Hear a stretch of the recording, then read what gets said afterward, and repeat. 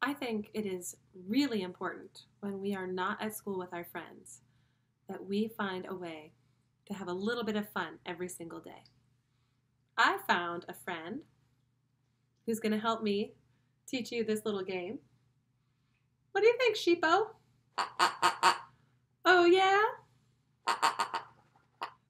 so, we are going to teach you a game called That's the Way You Get Down. And my friend Sheepo here is going to help me because this game is a call and response.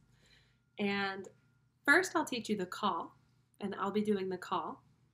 And Sheepo here is going to be doing the response. Now, at first, you may not know the words for the response because you may not speak sheep the way Sheepo does. But that's okay because after I teach you the call with my voice and Sheepo doing the response, then we'll switch and Sheepo will do the call while I do the response, and that's how you can learn the response. Okay, so here we go. Hey, Sheepo. Hey, Sheepo. Show me how you get down. Show me how you get down. D O W N, and that's the way you get down. D O W N, and that's the way you get down. Now Sheepo's gonna do the call. Ah, ah. Hey, what? Ah, hey, what? No way. Okay, D O W N, and that's the way you get down. D O W N, and that's the way you get down. All right, now you're going to hear me do both parts, and I want you to pick a part. So either be with me over here doing the call whenever my head's on this side, that's the call, or you can join this part, and when my head's over here, that is the response.